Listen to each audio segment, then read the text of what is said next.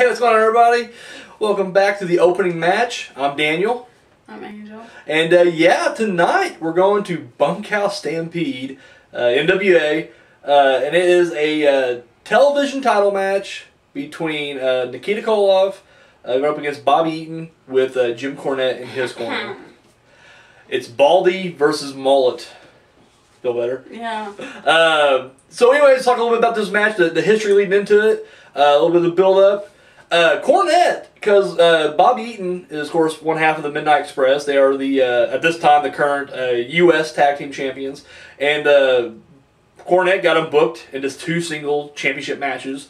Uh, Stan Lane with Nikita Koloff for TV title, and Eaton with Dusty Rhodes for the U.S. title. And that kind of started a big tag team feud between the Midnight and Koloff and uh, Rhodes. Uh, I don't think Midnight ever won the titles at all, but uh, still the war kept going. Uh, actually broke down to a series of uh, tag team cage matches. And then here we are today with this match with Eaton uh, challenging for the TV title. So let's get into the actual match.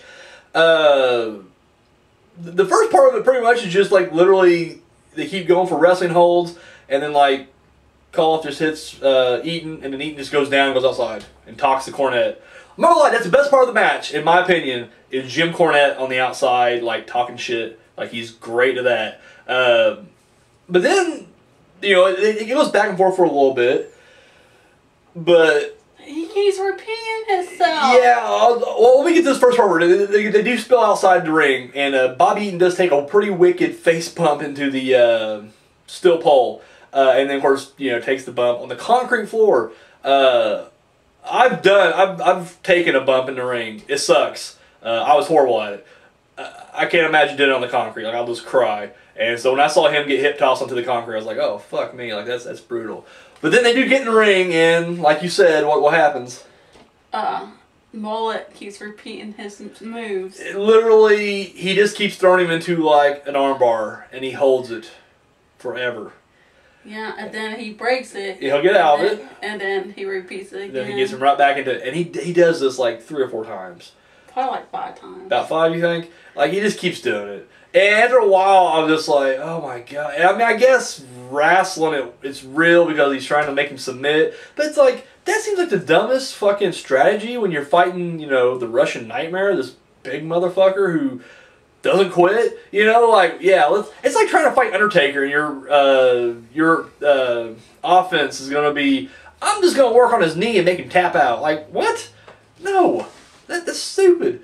And that's what. And Eaton like doesn't do a whole lot of high flying. He's like he hits like one super drop kick. Like he has a top or top rope drop kick. That's it. Everything else is just him trying to overpower him, and it just doesn't work until he gets the armbar on him, and then of course he holds the armbar for fucking ever. Ever. Uh, and of course, right off the bat, we get to like five minutes left, and we're just like, ah, fuck, it's gonna be another time on the draw. This is the second time we've done NWA, and this is the second time It was a boring. it's been a well, it's boring, but then it was also just a time on the draw each time. I'm just like, fuck.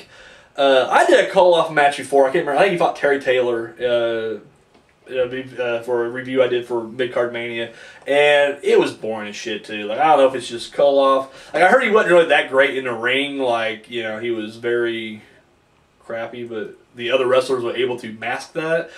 I don't know. I, I'm not gonna lie. I was not too impressed with this match because it really was just boring. And then at the end, like they're counting down like three minutes left. They're still doing the armbar thing. They did the armbar until we got a minute left, or like 30 seconds left, and then finally Koloff gets out, hits a clothesline or his Russian sickle, and then that's it. He gets like a one count, and then the time expires. And I'm just like, so, sweetie, and who, now who is you voting for in this match? Baldy, You was voting for Koloff, all right. And what was your reason again? because he was bald. Because he's bald. That was, she said, I like him because he's bald, and I don't like the mullet. That's that's her only thing. Like, forget the attitudes of the people in the ring or whatever. It was just she based it on hairstyle. Uh, what do you think about this match? Boring. It was pretty boring. I won't deny you there. Normally, I, I roll my eyes at you and say you don't know shit. You was right. This is pretty boring. I think Mullet should did did more moves.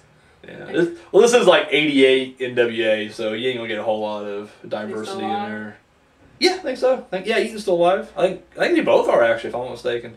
Um, Yeah, and I guess like, the postscript of this match was after uh, after it ends, uh, Koloff uh, ends up snatching the uh, tennis racket from Cornette and threatened to beat him up with it, but then he gets jumped by Eaton, and then Stan Lane runs out there and the Midnight just work over Koloff. Dusty Rhodes nowhere to be found. I was like, wow, really? He's like, I got a match. I can't I can't take care of the, the Russian nightmare. Uh, yeah, so we're, we're giving kind of a thumbs down on this end. We didn't really care for it. Uh, let me know what you thought of this match in the comment section down below. And guys, tune in next hit week. that subscribe button. That's right. Hit the subscribe. And Uh, then the notification bell too. The notification bell. That's like, yeah. Yeah. everybody keeps saying Yeah. that. So so you know when we upload a video. Yeah, but what if they're like eating dinner? They're gonna be like, oh, this guy keeps making videos. Fuck this guy. You don't care? You're like, fuck their dinner. You're like, fuck their dinner. Watch our videos.